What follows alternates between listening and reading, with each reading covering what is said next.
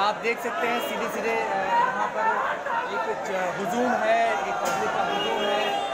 मुख्य मार्ग यहाँ पर गरीब रामलला के दर्शन के लिए जाने के लिए छोटे बड़े मिलाकर के 28 मुख्य मार्ग हैं, जो आगे के दो मुख्य मार्गों के दाखिल होते हैं। लेकिन आज सभी को बंद कर दिया गया है, पुलिस ने चौकसी एडवांस में दिखाई है कि सभी छब्बीस रास्तों को बंद करते हुए सिर्फ़ दो रास्तों को खोला गया।